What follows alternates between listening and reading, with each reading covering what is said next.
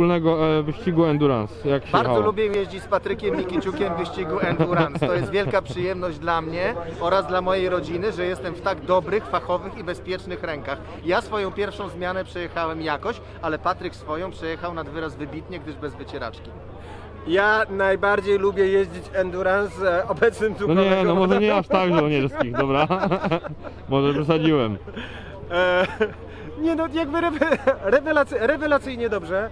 Nie, nie obyło się bez, e, bez problemów. Daliśmy wygrać, jakby daliśmy chłopakom wygrać, bo oni jechali na punkty, prawda? Tak, my się bawimy. My się bawimy.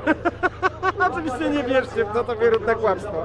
E, padła nam wycieraczka, e, jechaliśmy kompletnie na ślepo, e, ale dojechaliśmy, to jest najważniejsze. I e, całą godzinę bez wycieraczki na ślepo, ale pamiętamy przecież tor. Każdy polatał ponad 50 minut, jechaliśmy na jeden pit stop regulaminowo trwający 12 minut, także mamy kolejne minutki i kolejne zakręty tutaj w rękach wyjeżdżone, także jest dobrze. Piona? Piana! No, a będzie jeszcze lepiej.